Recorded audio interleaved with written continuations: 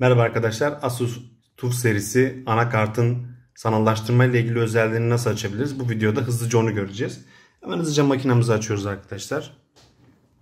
Şimdi makineyi açtıktan sonra e, genelde Asus TUF marka anakartlarına Delete ya da F2 tuş kombinasyonlarıyla e, UEFI BIOS ayarına e, ekranına ulaşabiliyorsunuz.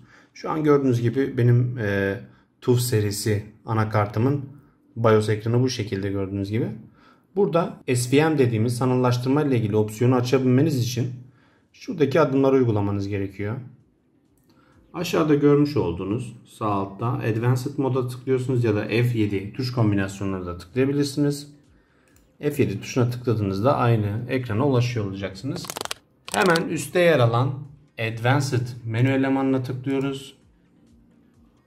Sonra CPU Configuration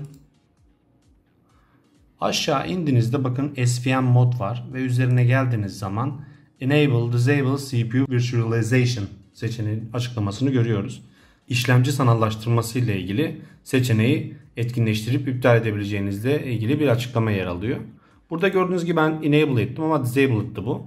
E, VirtualBox ile ilgili bir ihtiyacımda ve e, mobil geliştirme sırasında e, bazı Android simülatörlerin sanallaştırma ile ilgili seçeneğe ihtiyaç duymasından bu seçeneği gelip aktif ettim. Normalde sizde bu şekilde olacaktır ama gelip buraya enable diyeceksiniz. Ve sağ üstte yer alan exit'a geliyoruz. Son olarak save change and reset seçeneğine tıklıyoruz.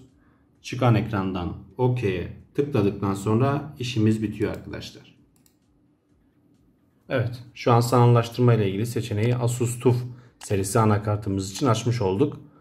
Ee, bu video bu kadardı arkadaşlar. Bir başka videoda görüşmek dileğiyle. Hoşçakalın.